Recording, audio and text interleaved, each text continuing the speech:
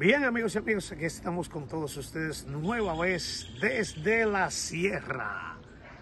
Gracias por seguir estas líneas, gracias por seguir este canal, gracias por seguirse informando con nosotros. Miren, vamos a agradecer de todas sus suscripciones, síganle, síganle dando like a todas nuestras noticias para que se enteren y para que estén mejor informados por aquí, por esta plataforma. Vamos a hablar un poquito acerca del tema haitiano-dominicano, el cual se vive en el río Masacre, Dajabón, donde los haitianos construyen un canal y donde el presidente Luis Abinader llevó la queja y hizo una fórmula en la ONU. Eh, señores, este tema ha dejado, ha dejado mucho de qué hablar y pues para nosotros, en las razones nuestras, no es más que un tema que se ha politizado.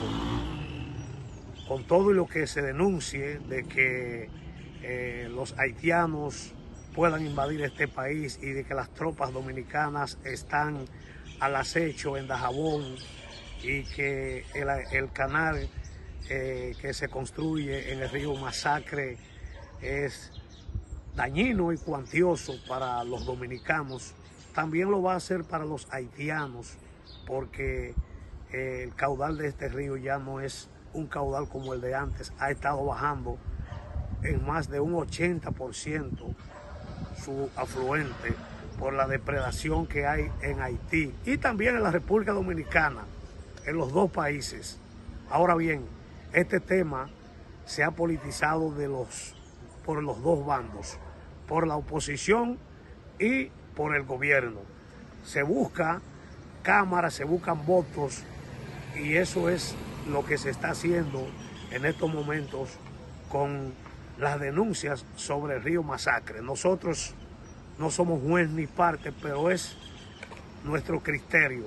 Se ha politizado este tema y aquí todo el mundo busca sacar ventaja. Vamos a ver lo que nos dijo este haitiano, quien dice que lleva alrededor de 28 años trabajando en la República Dominicana y que el diálogo entre Haití y República Dominicana debe permanecer por los presidentes. Vamos a ver.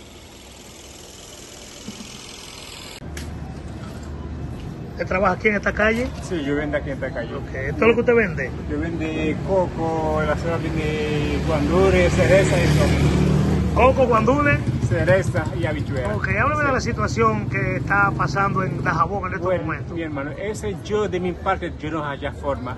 Ese problema podría resolver con diálogo, porque entre dos países somos hermanos no puede estar, en, en, guerra por una cosa, por un canal.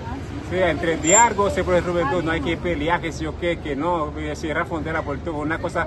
Pero ejemplo, la frontera produce miles, miles de millones entonces, una cosa por un canarito. Se resuelve este diálogo, pues no, no hay que llegar tan, tan lejos hasta ahí. ¿oíste? no está de acuerdo. No, yo no estoy de acuerdo, no estoy de acuerdo. Yo, de mi parte no estoy de acuerdo, pero esa cosa se puede resolver muy fácilmente puede resolver. No, no estoy de acuerdo a eso. Okay. ¿Hace mucho que estás trabajando aquí? Yo tengo 28 años ahí trabajando. Qué bueno, qué bueno. ¿Cuál es su nombre? Pedro. Muchas gracias. Ok.